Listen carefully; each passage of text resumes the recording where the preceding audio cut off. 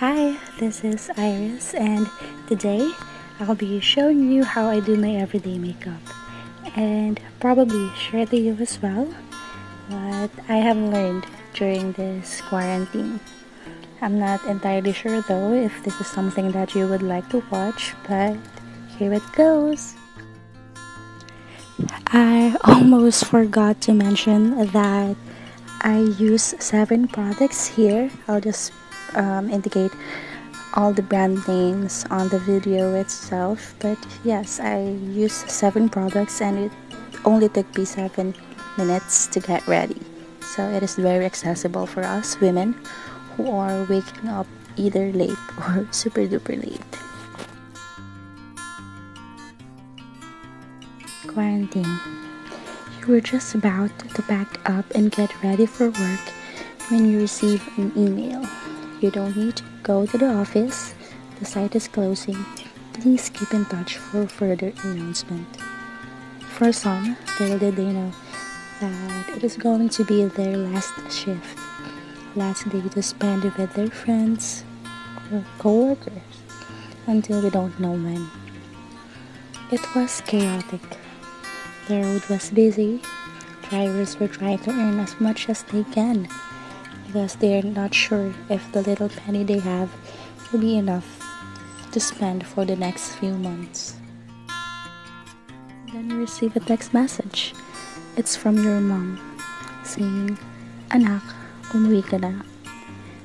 Pahirapan na ang pag-uwi niyan. Nag-aalala na kami sa'yo.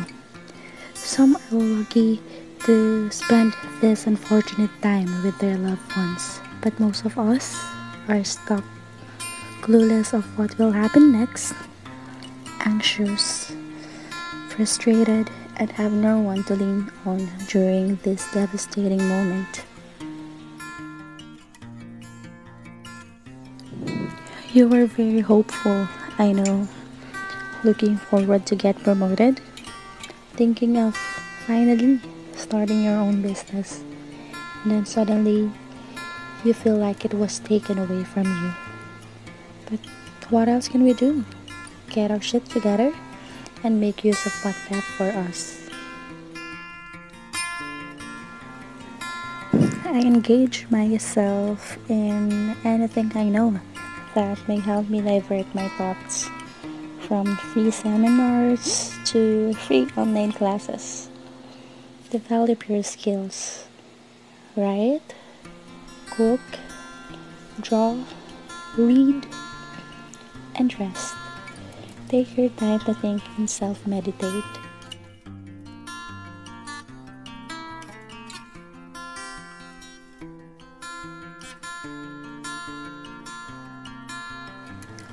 Spend time with your family. Check out on your friends.